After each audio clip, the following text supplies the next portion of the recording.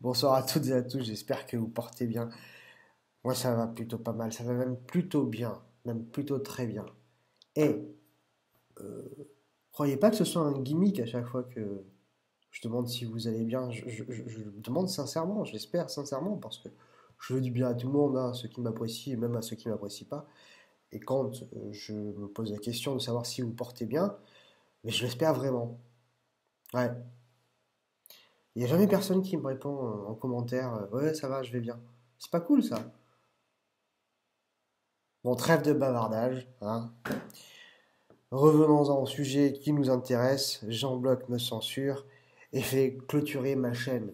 Oh, liberté d'expression Non, je m'en tape en fait, c'est pas grave. Ça m'a fait rire. Donc, ce troisième épisode se nomme L'islam et Rudolf Steiner. Oui, je dis que je m'en tape, mais je réagis parce que ça m'amuse d'enfoncer le clou. Et puis du coup, j'ai trouvé des choses encore plus intéressantes à dire. Bon, bref.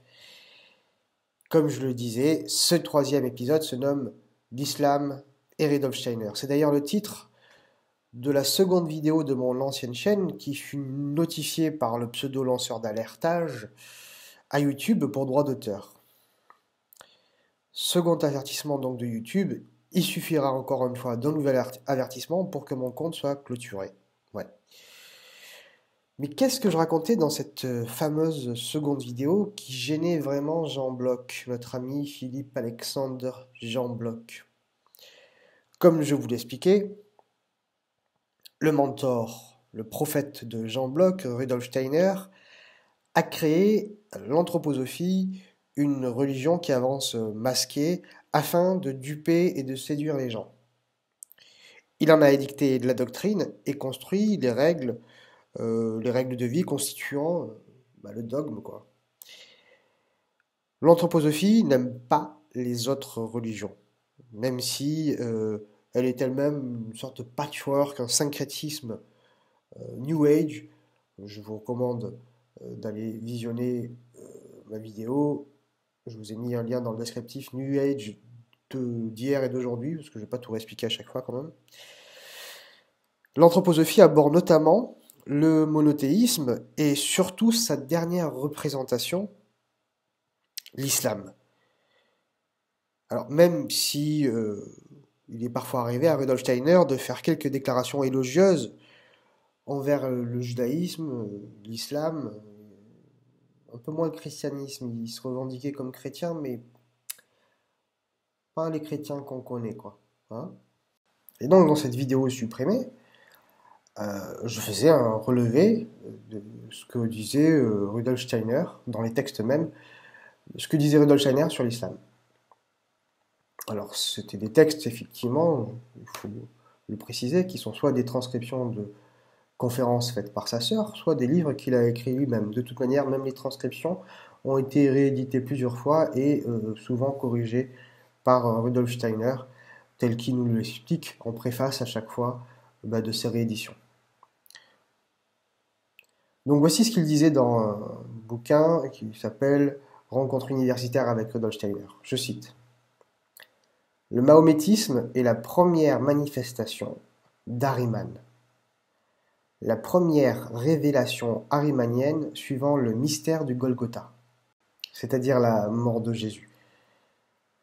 Le Dieu de Mahomet, Allah Eloha, est une imitation arimanienne ou un reflet pâle des Elohim, c'est-à-dire des dieux. Je rappelle, petite parenthèse, que l'anthroposophie est polythéiste.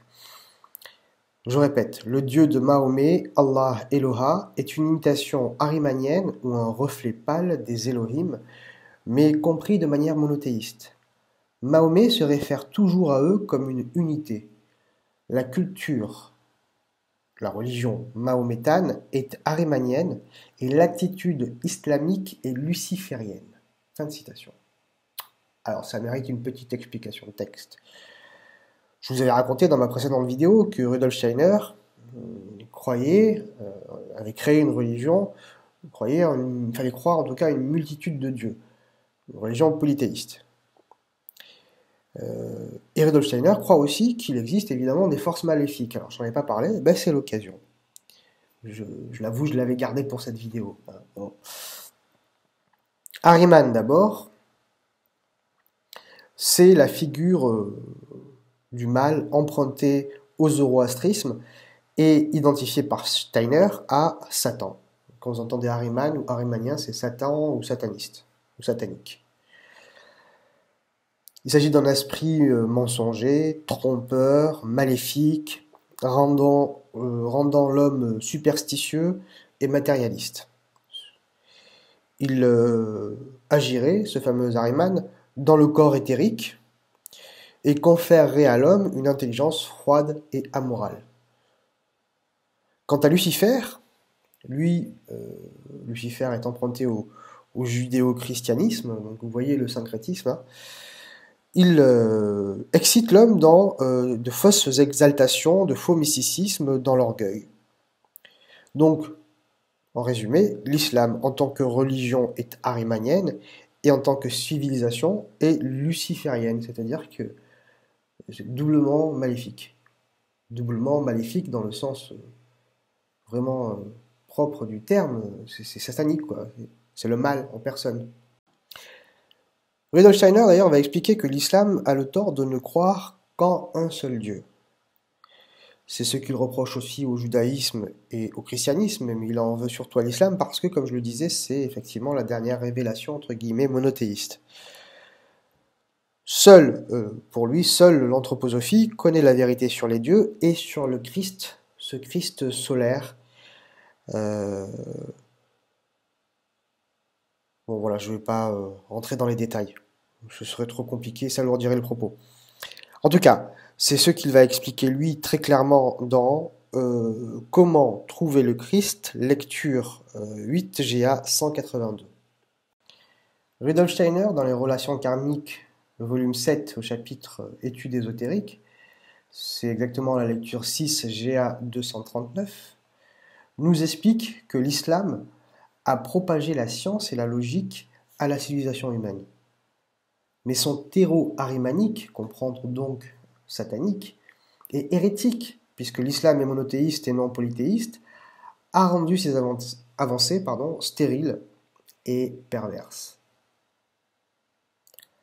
Dans euh, Cours aux jeunes docteurs, lecture 4 GA 316, il va plus loin, en considérant que l'islam et la culture qui en découle, euh, la manière de penser, a fortement imprégné la médecine jusqu'à aujourd'hui, une médecine que Rudolf Steiner décrit euh, fatalement.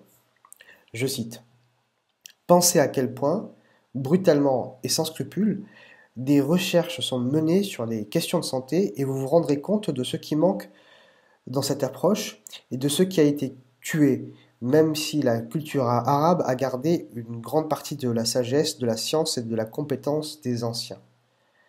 Cela a été tué parce que la Lune le Soleil et Saturne, cette véritable trinité, qui a été déguisée en Père, Fils et Esprit, a été éjectée, répudiée par la pensée arabe dans le mohammedisme par ces mots. En finir avec la Trinité, euh, il n'y a qu'un seul Dieu, un unique et un seul Dieu. Entre parenthèses, euh, signale Rudolf Steiner, Mahomet ne l'a pas dit lui-même, mais a été inspiré par un ange non pas le meilleur des anges, même si celui-ci fait partie des sages. On ferme la parenthèse. Et il écrit ensuite Les choses qu'il faut vraiment connaître dans notre médecine ont été occultées par la médecine arabo-musulmane. L'humanité européenne était jusqu'alors incapable de découvrir la vérité. Aujourd'hui, il faut que ces choses soient connues, sans quoi l'humanité se désagrégerait. Fin de citation.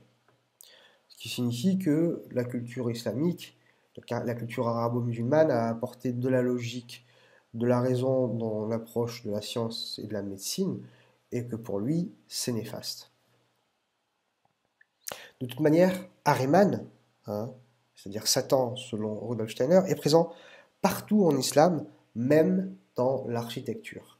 Dans son livre, justement, euh, Architecture, il dit ceci, je cite, L'influence antichrétienne est directement visible dans l'architecture mauresque.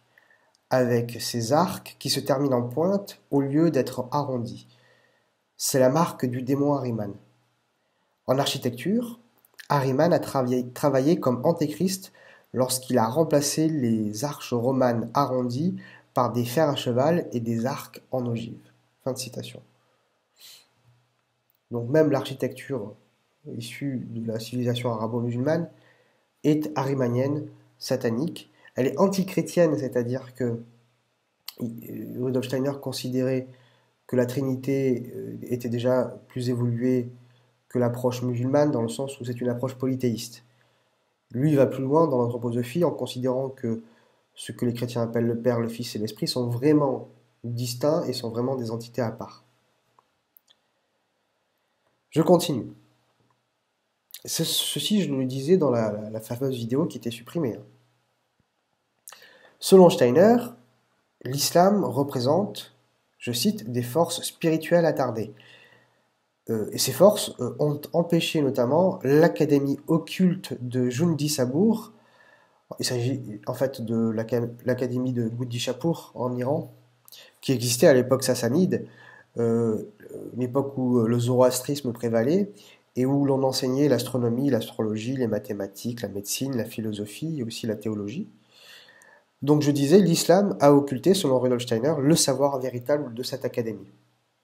Dans un autre texte qui s'appelle La vie entre la mort et la renaissance, lecture 12 GA 140, il explique encore que pour ceux qui euh, sont musulmans et surtout ceux qui prêchent l'islam, je cite, ces gens-là seraient des âmes à la traîne qui seront handicapées dans une prochaine vie. Voilà. Donc, euh, je ne sais pas combien de musulmans il y a sur Terre euh, aujourd'hui, mais sachez que vous allez vous réincarner comme des personnes handicapées mentalement ou euh, physiquement.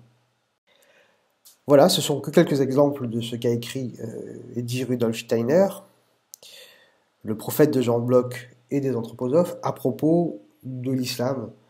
Euh, certes, comme je vous l'ai dit au début, il a fait quelques éloges sur l'islam, ou même sur les deux autres monothéismes que sont le judaïsme et le christianisme, mais ce n'est rien en rapport avec les propos extrêmement radicaux euh, dans lesquels il soutient que ces traditions, notamment et surtout l'islam, sont sataniques, doublement maléfiques, arimaniens et lucifériens.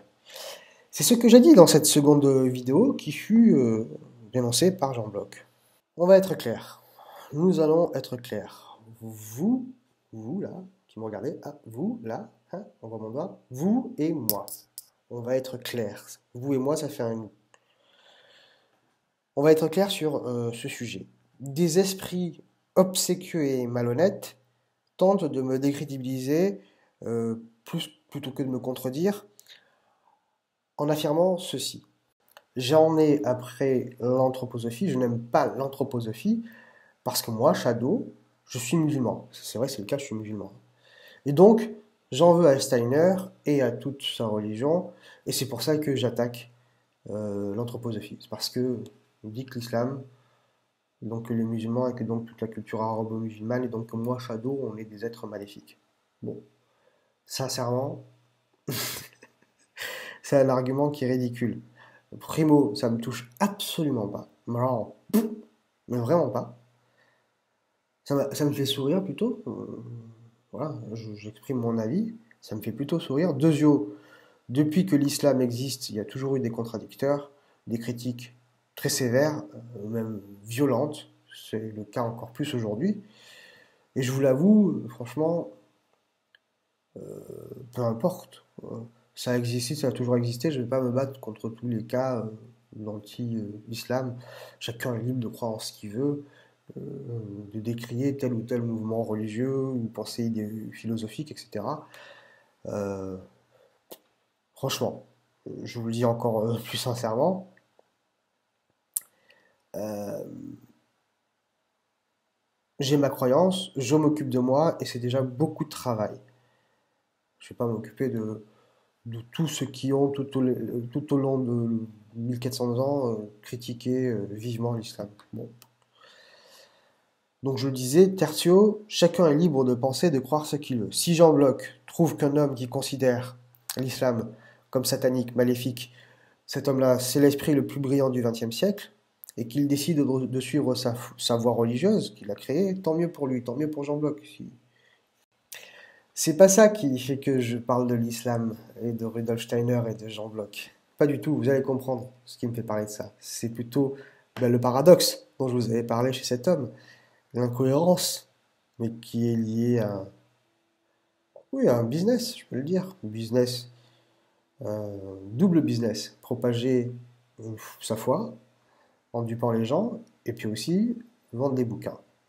C'est certain que révéler que son prophète, euh, dont il parle à longueur de vidéos et à longueur de livres, considère que l'islam est satanique, maléfique, ça bah, ça fait pas du bien aux affaires de Jean Bloch qui essaye de le cacher. il n'est pas très malin, en même temps, il dit qu'il est anthroposophe, il aurait dû se douter qu'un jour quelqu'un allait euh, gratter et en parler. Parce que ce que je dis, c'est pas des choses que j'invente, c'est dans les textes de Rudolf Steiner. Bon. Euh, alors, à moins qu'il nous, explique maintenant qu'il croit qu'en une partie de ce que dit Rudolf Steiner il a rejeté toute une autre partie. Non, son propos, c'est de dire que je mens, je suis un ignare et un incompétent.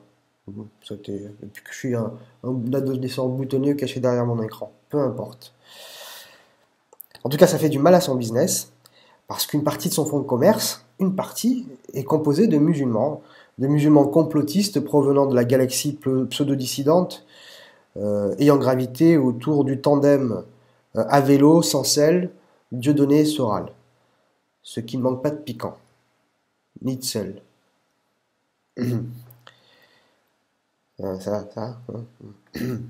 Ah, je, suis drôle en ce moment.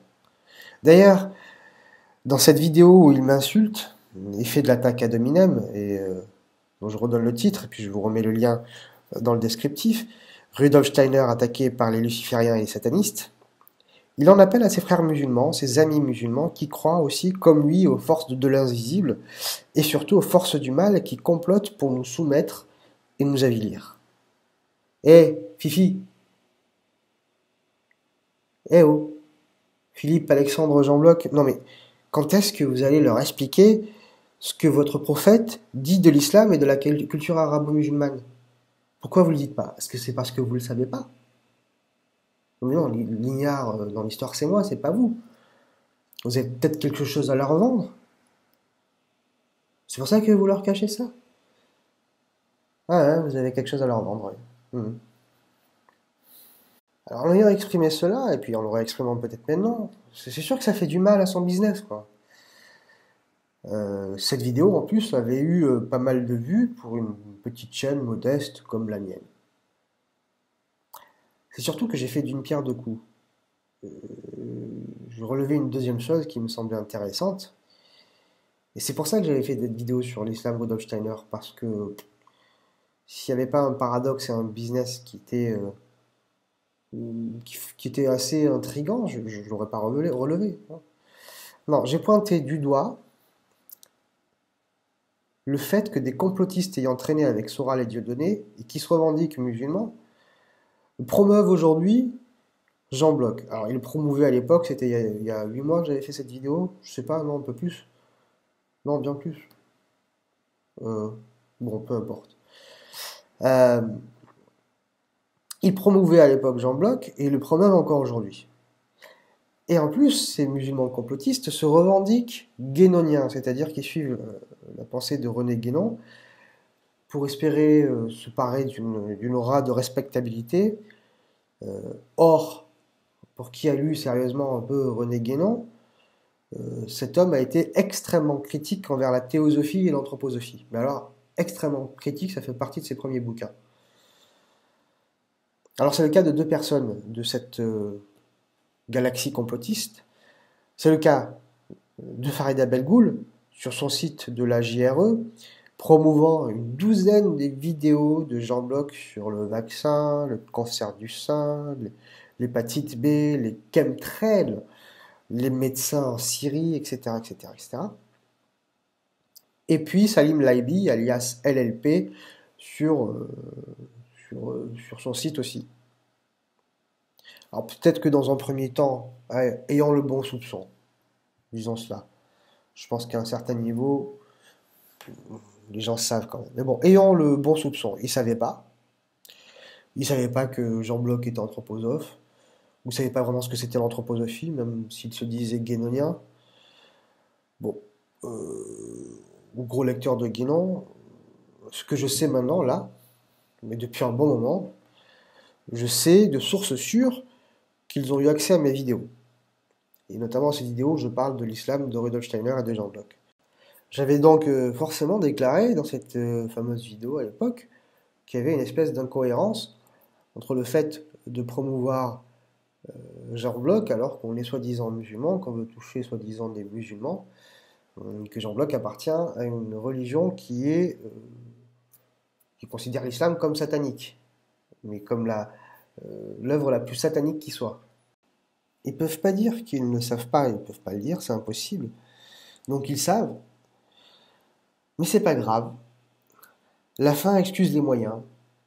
La fin excuse les moyens et les alliances. Aujourd'hui, leurs sites promeuvent toujours les propos de Jean Bloch, en ignorant la dissonance cognitive qu'occasionne ce mélange des genres. Nous avons donc affaire à du business, du mensonge et de l'alliance par intérêt, l'argent n'ayant pas d'odeur. L'ego aussi, n'ayant pas d'odeur, parce qu'il y a une une part d'ego.